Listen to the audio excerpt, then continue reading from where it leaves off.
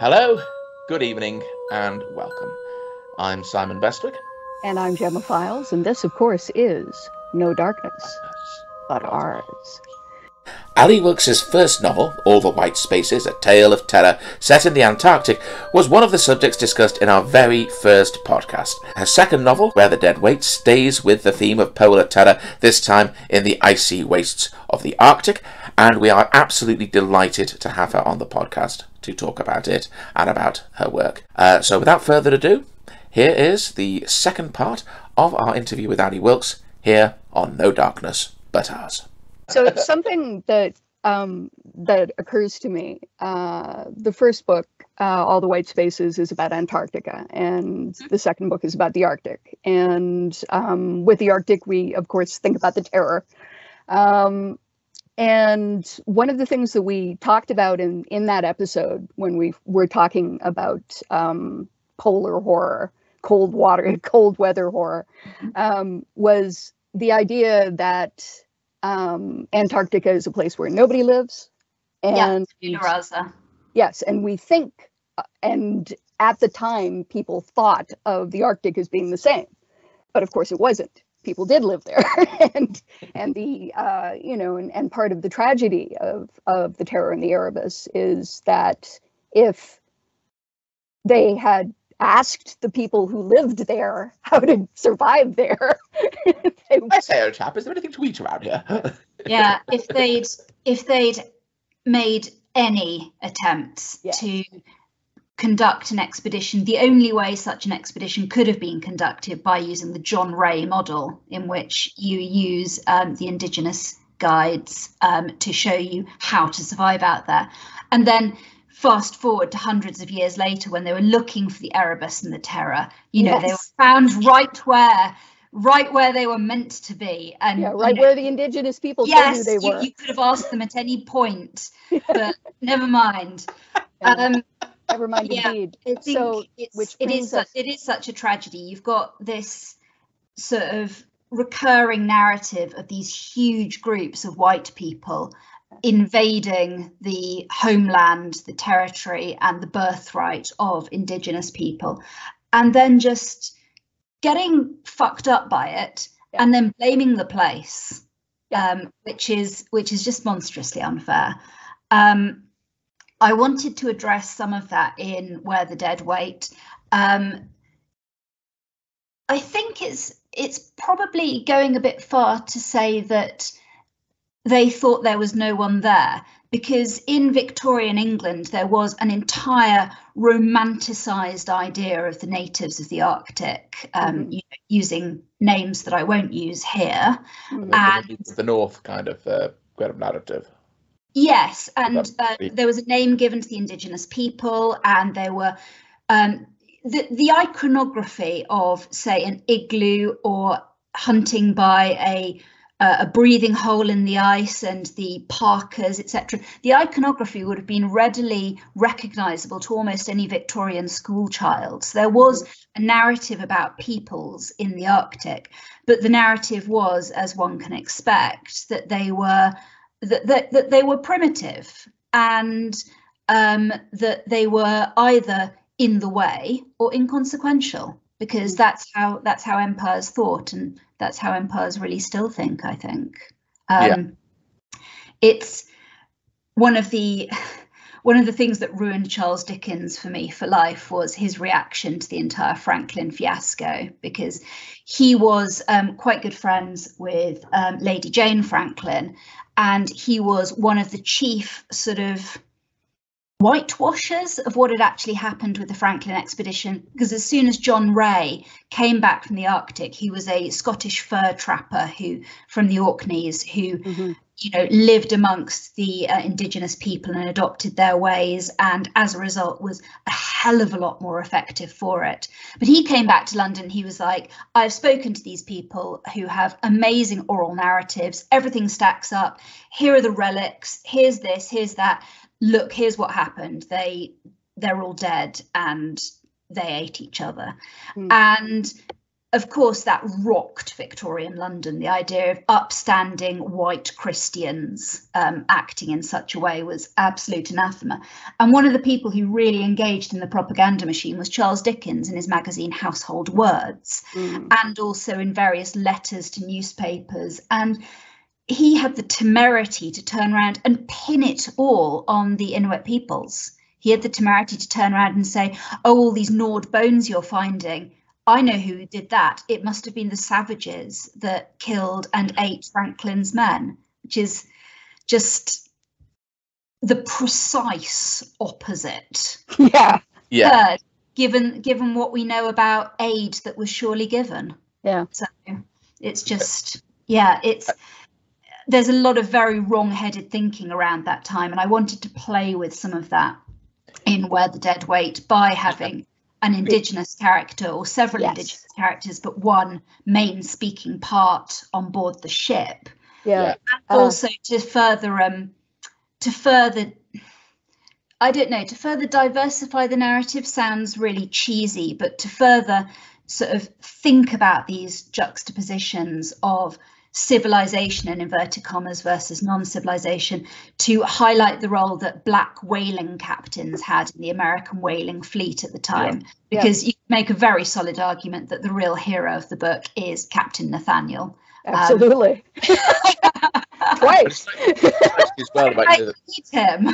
about that whole Dickensian whitewashing thing. I mean, that's kind of, I mean, very much blown out of the water in, in many ways in, in this particular narrative because they can't claim that the uh, the the the Inuk ate ate them all because some survivors came back in this particular expedition. Yeah, we ate them. Mm-hmm. Yeah. Yes, and to a certain extent, also, I wanted to show some of the the real things that went on in expeditions that were forced to resort to cannibalism. And it is a horrible truth of survival cannibalism. I'm thinking of things like the whale ship Essex and also the Greely expedition. It was often the people of colour that died first, um, often because of um, because they were less well equipped bodily to survive difficult conditions, uh, fewer fat stores and less less reserves to draw on, but also I think because of plain racism. I, I, I genuinely think that there was racism at work in them normally being the first to die and the first to be eaten. And so I spin off that with um, several incidents that happen at Day and Stevens' gruesome Camp Hope. An ironic, um, an extremely ironic name. well, I, I love these. Um, I love these ironic names. I have to say, it's um, it's you know, in in Arctic exploration, there are just all these really like you know, names that just. So I've I've got God Saves Harbour, which I've obviously made up, but like there is a real thank God harbour up there and various other things. And Cape Verdant, which is deeply sarcastic, is a riff. Yes. is a riff off Cape Sabine and various other places um, encountered by the Greely expedition. Nice. You know, I mean, um, I I really loved the juxtaposition of uh, this hyper male um, expedition with these two female characters. Um, and you know, to some degree, it's it's very it's it's it's very funny to me how Avery, who is um, you know, kind of small and dapper and you know, kind of soft, you know, yes, is, is immediately read by William Gay. You know. He's like, yeah. ah, you're one of those fellows, eh? yeah, yeah. Avery yeah. is too soft, too good. Yeah, exactly. And um, but you know, so you've got Olive, uh, the spirit medium, um, with her veil and her skull, which we later yeah. find out that her, her incredible outfits. I yes. mean, lacy fingerless gloves, the veils with dead moths pinned into them. Oh. Honestly, I would wear any one of those. Absolutely, and and I would totally wear them on that expedition because it would keep the dudes away. wouldn't it? Yeah, it's well, like that expedition as well, just to attract the ghost of, of everybody's mom. You know. Yeah. So, but Keela, um, man. Oh yeah.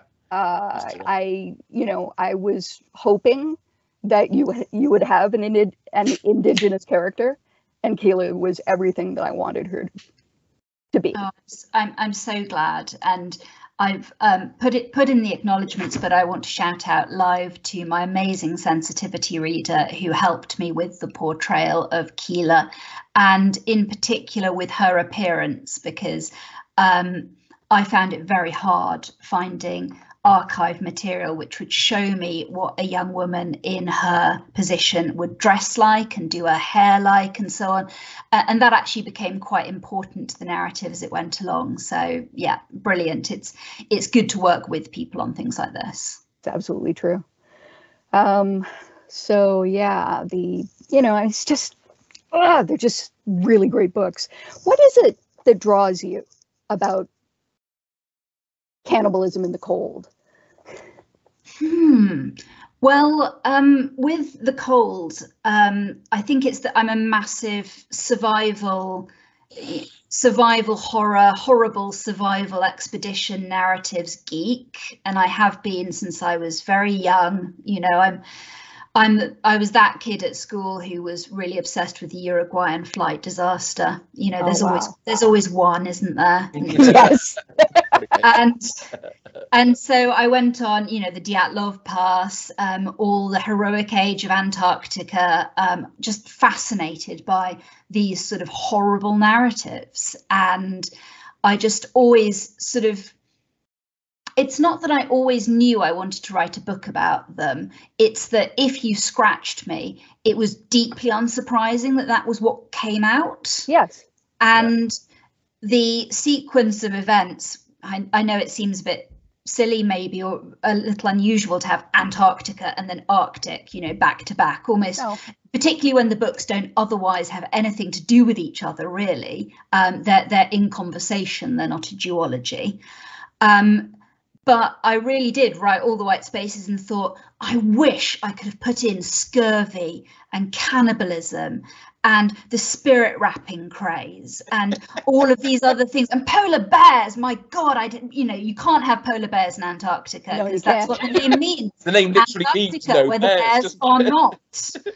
so, so I, I really did sit down and think, what are all the things that I would just be crazy to move on without including in another book. And I wrote a massive long list of them, thought of who I thought would be an excellent main character, which is someone who's been hurt by the Arctic once before, and someone who's got a bitter rival, bitter rival, sorry, or a lover or a friend he has to rescue. Oh, and I was just like, excellent. Yeah, here we go. Here's here's that chap. I'm going to call him William Day, and he's going to have a rough time of it because I've got a lot to fit in here. Yes. So you were saying that you didn't conceive it as a duology, but I mean, they both of them seem to inhabit a sort of alternate timeline. Mm. Is it the same alternate timeline or two different ones? And do you ever do you, do you think there's more in that sort of sort of alternative timeline for you to explore? I think you could take your pick as to whether it's the same or different, really.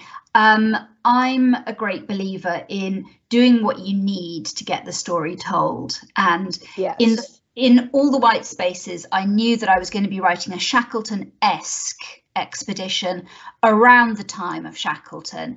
And I was either going to have to have Shackleton as a character or deal narratively with why Shackleton wasn't there. And so I, I'm afraid I took the simplest course, which is to write him out and write someone else in. And similarly with Where the Dead Wait, there are real people name checked in the book. You know, people do dwell on what happened to Franklin, of mm-hmm. course. Yeah. Um, but there's a sort of imagined timeline of exploration um, that allows me to make the Arctic or the Antarctic as it is not quite so crowded. You know, you don't want yeah. it like Heathrow Airport in there with all these. Oh God, no. yeah. I mean, the so, whole yeah, point so, is it is basically like this wilderness where you just go out and it is you against the. Uh... Yes. Yeah, I mean, I did originally when I was writing very early drafts of all the white spaces. I think right up until copy editing had lines in in which Jonathan Morgan thought with a shiver of the horrible story of William Day, who went to the Arctic and ate his own men twice. And I thought about leaving that in as a fun Easter egg for anyone who read both and could see that the story was both as horrible and not as horrible as that. yeah. But, but in the end, I, I decided it, it really did. It felt a bit egotistical to have my debut Yeah. novel shout out a character from a second novel that I had not yet finished writing. I know what you mean. I like. I like. Do you think that maybe you do that for in future? If there's in future editions, maybe sort of like the, the revised and expanded version. It would it would be fun because I would love the idea that Jonathan Morgan, who is a polar geek who has Hmm. read all the books that I have Yeah. read and more, and is fascinated by the history of the poles, would manage to get William Day's story really quite so wrong-headedly wrong. That that would just take me. I'd be like, "What did you expect, William Day? You're a loser." Yes, that's right. I'm not going to end up like William Day. That yeah, yeah. No, no one wants to end up like William Day, um, which, which I, I I quite like the thought of it because Where the Dead Wait isn't a book I think with an easy ending, and I don't think Day has an easy character ending either.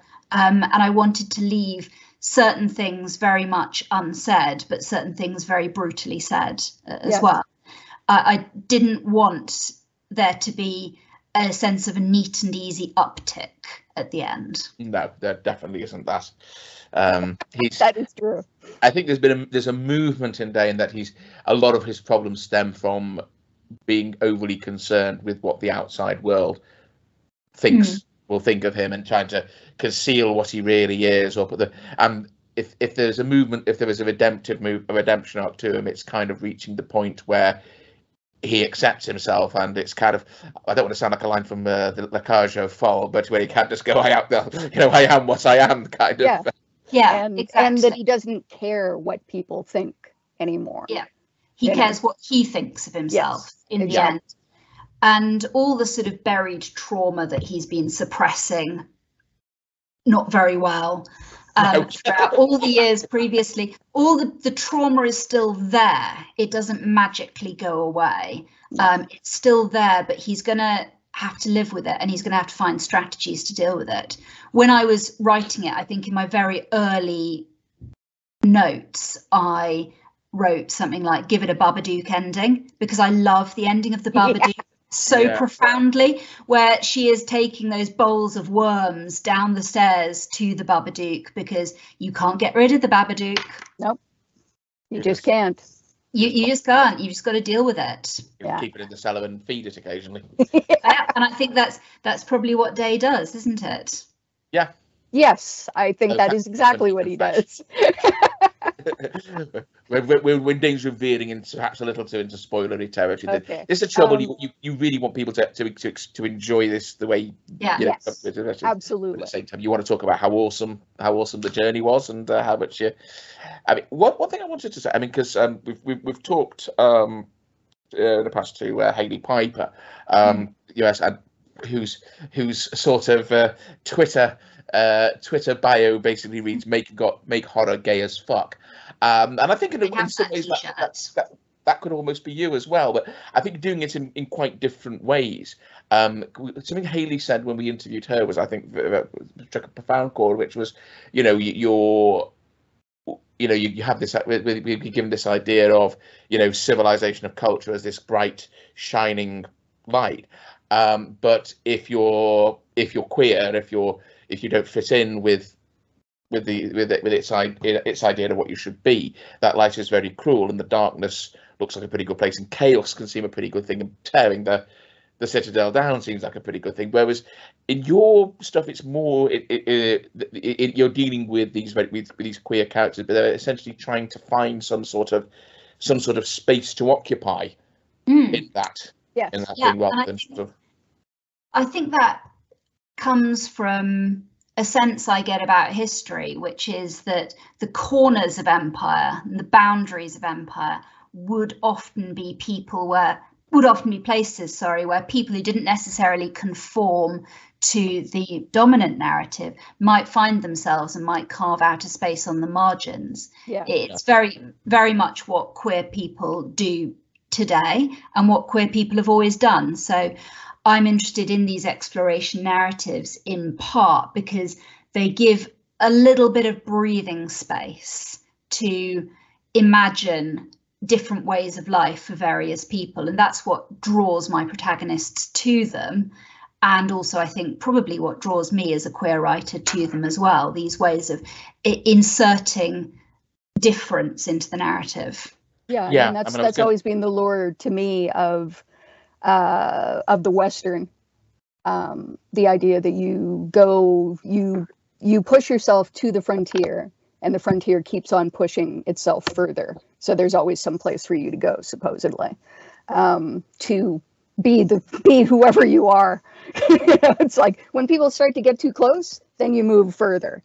Um, but of course, then you've also got manifest just destiny and all the awfulness of that. Um, well, as we know from the film Ravenous, manifest yes. destiny turns you gay. That's right. Turns you cannibalism, a cannibal and gay. Why not? Yeah. Why not? Yeah, I, yes, one of my favorite films of all time. Same. I absolutely love it. Just he could monologue at me anytime. Fantastic. Yes. Yeah. And, and you just be Guy Pearce sitting there going, yeah. yeah, it's interesting looking at these sort of the. I mean, you you've taken these very. Uh, I mean, both of you really, the with the Western and and the, the whole pole. I think you've both taken what are traditionally very hyper masculine kind mm. of narratives mm. of you know tough guys doing manly dudes doing manly things kind of thing, yeah. and um, uh, queered them mightily. Um, of course, to an extent, the queerness was always there because, as you say, a lot of the people who are going to be pushed to kind of go and explore the mind and go push out beyond civilization into the the wilderlands or whatever are people who are maybe not as at home in um, in the comfortable city. It's kind of like the Sam Peckinpah thing of you know all the of the of uh, in, in reverse almost of the you know the, the, all these tough gunslingers and stuff who are suddenly out of place in the uh, when when you know as the world becomes civilized and it's kind of like well no the, the world was already civilized. We just fucking couldn't stand it and we pissed off to go and you know yeah eat lizards in the mountains kind of thing. Yeah because uh, yeah. it's more fun. Uh, when when when you when you think about huge groups of um, people who are all the same gender or identify as the same gender it's sort of like why do you want to hang around together yeah. There's, there's an inherent homoeroticism baked into a lot of these scenarios. That's exactly it. Oh, God, yeah. That's that's exactly it. Um, it's the same thing that I find in um, at the moment. I'm wrestling with a, a narrative set in a convent. Um, and I find it with that as well. You know, it's like, why would you choose to be a nun? Well, I don't know. Maybe I don't want to have sex with a guy. you know, maybe I don't want to have kids. Maybe I don't you know? want to. Maybe I want to do other stuff. the life of the mind. I, um, I remember having a conversation with um, another writer, Jasper Bark. There was a an anthology I was in some about ten years ago now called Tales of the Nun and Dragon. Mm. Um, the essential premise was you could write any kind of story you wanted. It just had to have either a nun or a dragon, at least at least one of the two. And I I wrote.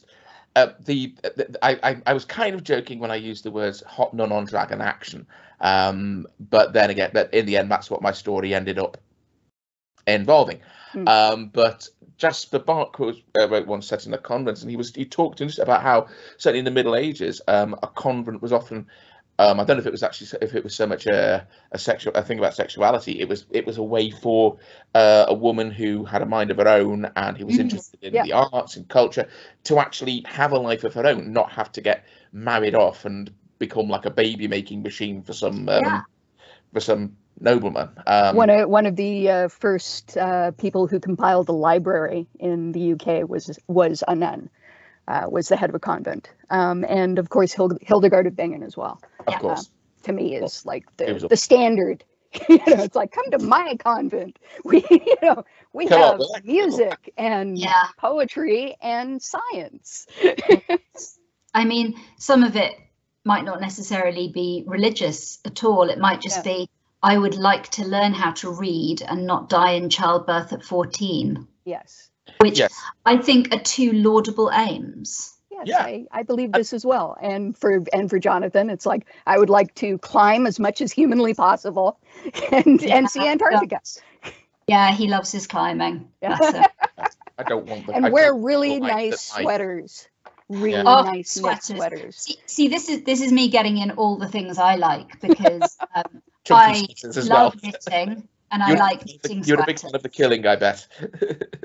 I like anything with a good knit. So people yes. tend to tend to wear nice knitwear in my books, and the climbing sort of snuck up on me in that when I was researching all the white spaces first, I wanted to see how easy it was for someone um, assigned female at birth to pick up climbing ropes and climbing right. the rigging and stuff like that. And I, I knew that they weren't going to let me like go out on a tall ship or yeah. whatever, like with no experience. So I did what I considered like a reasonable research trip and went down to my local circus school and took a taster in silks and rope, um, nice. um, in which I learnt to climb ropes and things like that. And six years on, that's now my main hobby. I now spend a vast proportion of my time hanging from ropes upside down off the ground. Ally Wilkes' second novel, Where the Dead Wait, was published in the US on 5th of December 2023 by Atria Books and is out from Titan Books on the 23rd of January 2024 in the UK. And we'll be back at the same time next week with the final part of our conversation with Ally Wilkes. But until then, I have been Simon Bestwick. I remain Gemma Files, and this, of course, is always no, no darkness, darkness, but ours.